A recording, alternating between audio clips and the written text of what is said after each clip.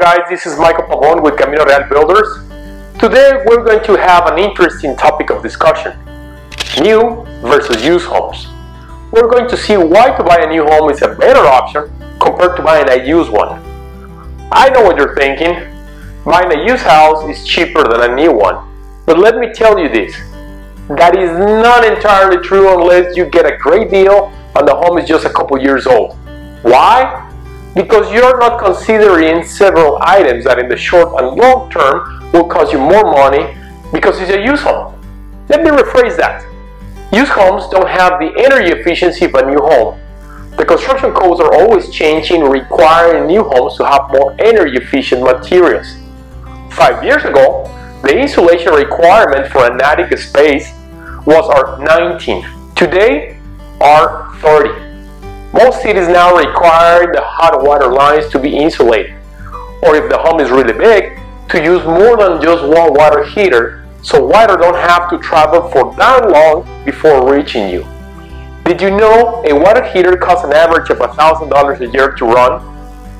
Well, today you can cut that in half, give or take, investing about $700. And these are only some of the examples.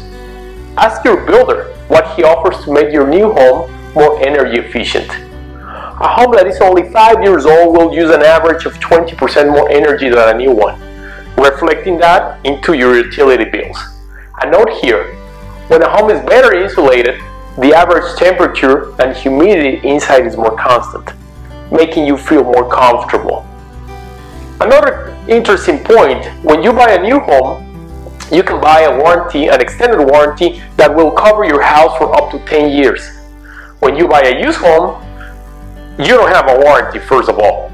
And if you're lucky and you get somebody to buy you some sort of an extended warranty, it's going to be way more expensive and it will never cover you up for that long time. So it's like a car. You buy a new car, you get complimentary services, you get warranty, and you get a peace of mind. A used house, you're flipping a coin there. If you decide anyhow to buy a used home, hire an inspector for your house. So you can make sure that you don't have any hidden problems within the house, like the AC is about to get blown, or the water heater is not working properly, or the electrical, you don't want to have any hidden problems with the electrical system.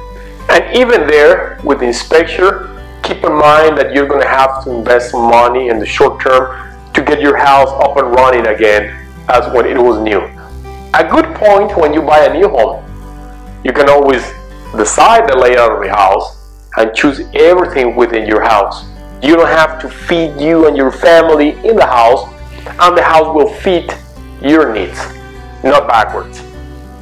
Finally, let me talk about insurance. Insurance companies charge usually a premium when you're talking about a used home because they know and understand that eventually in a short term probably you're going to be calling them uh, asking to get your shingles replaced uh, or you start having uh, hidden problems uh, with the appliances like the AC or water heater or electrical problems. So usually the, the insurance is considerable cheaper for a new home than a used one. So you're saving big bucks there and with that in mind, see you guys next week. Bye now. Make sure to, to, to, to, to get an or the electrical, you don't want to have any hidden problems with the electrical system. So,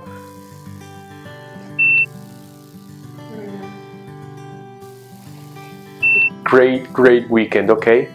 No, no, no sé cuándo vas a hacer. But the house will fit your needs and personal wishes. No. Michael Pavon here with Camino Real Off.